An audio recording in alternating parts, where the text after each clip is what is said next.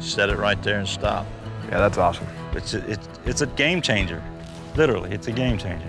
Holding us right in place. It's anchoring us right here without actually using an anchor.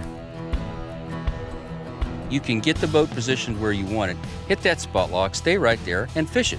It'll hold us right here now. We can fish the rest of the day right here without having to fool with it. I can pull out the remote out of my pocket or wherever it is, and I can hit the spot lock button from the back of the boat. Even in this wind, we're not moving. The boat just didn't move. It was like fishing off of a dock. Do your culling, do all the stuff that you want to do, and come right back and you're still sitting in the same spot. While we were on there schooling fish, I was able to hit the jog feature on the remote and was able to actually move over five foot to be able to stay on fish.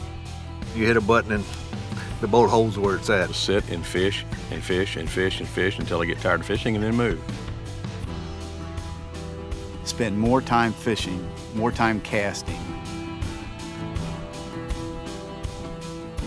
Sit back down here, retie my line. That right there is a time saver.